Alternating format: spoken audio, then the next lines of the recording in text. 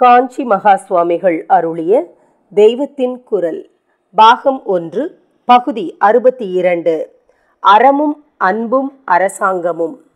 அரசனே தர்மத்துக்கு காரண புருஷன் ராஜா தர்மஸ்ய காரணம் என்று ஒரு முதுமொழி இருக்கிறது. இதன் அர்த்தம் என்ன என்று பார்க்கலாம். முதலில் தர்மம் என்றால் என்ன? மனிதராக பிறந்த எல்லோருக்கும் பசி தாகம் இருக்கிறது. அவர்கள் வசிக்க ஓரிடம் வேண்டியிருக்கிறது. குளிர் வெயிலிலிருந்து காப்பாற்றிக் கொள்ளவும் மானத்தை ரட்சித்துக் கொள்ளவும் ஆடை அணிய வேண்டியிருக்கிறது. இதற்கெல்லாம் மனிதன் வசதி செய்து கொள்ள வேண்டும். ஏதோ ஒரு தொழிலை செய்தே இதற்கு வசதி செய்து கொள்கிறான். அத்தியாவசியமான சுய தேவையை பூர்த்தி செய்து கொள்வதோடு ஒவ்வொரு மனிதனும் பிறர் விஷயமாக சில கடமைகளை நிறைவேற்றவும் வேண்டியிருக்கிறது. ஒவ்வொருவனும் ஏதோ ஒரு குடும்பத்தில் பிறப்பதால் அந்த குடும்பத்தில் இருப்பவர்களுக்கும் பிற்பாடு கல்யாணமானதும் மனைவி மக்களுக்கும் பொறுப்பெடுத்துக் கொள்ள வேண்டியிருக்கிறது. தன்னுடைய சமுதாயம் தேசம் இவற்றுக்கெல்லாம் மனிதன் கடமையாற்ற வேண்டியிருக்கிறது. பல விதத்தில் சுய தேவைகளை பூர்த்தி செய்து கொள்ளலாம். பல விதத்தில் வீடு நாடு இவற்றுக்கான கடமைகளை செய்யலாம். ஆனால் மனதுக்கு தோன்றியபடியெல்லாம் இவற்றை செய்யாமல் எவருக்கும் தீங்கு விளைவிக்காத விதத்தில் அதீதமான காமமும் குரோதமும் கலக்காமல் செய்ய வேண்டும். தன்னையும் மேம்படுத்தி கொண்டு அனைவரையும் உயர்த்துகிற விதத்தில் தொழிலையும் கடமையையும் செய்ய முடியும்.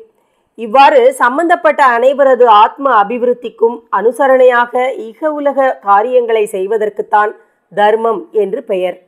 பலர் கூடி வாழுகிற சமூகத்தை அவர்களது பலவிதமான காரியங்களில் உரசல் இல்லாமல் சமூகம் முழுவதும் ஆத்ம அபிவிருத்தி அடையும் முறையில் சீராக வைத்திருக்க வேண்டும்.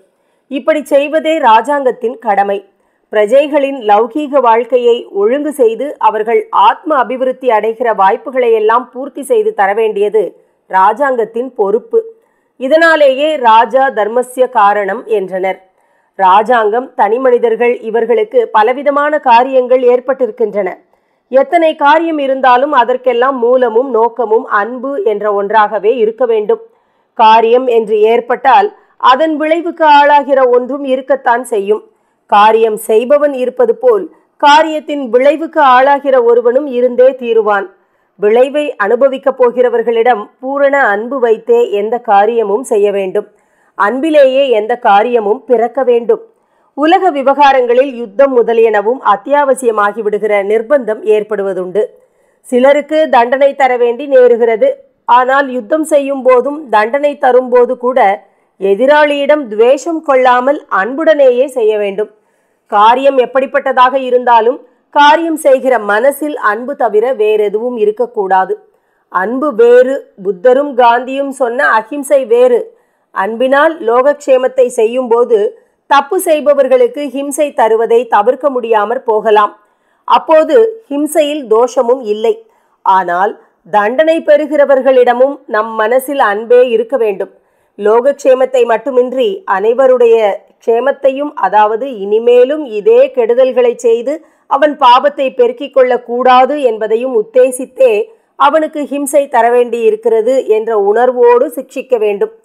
காமம் குரோதம் துவேஷம் வஞ்சனை இவற்றை பூரணமாக நீக்கிவிட்டு லோகக்ஷேமத்துக்காக எந்த காரியமும் செய்யலாம்.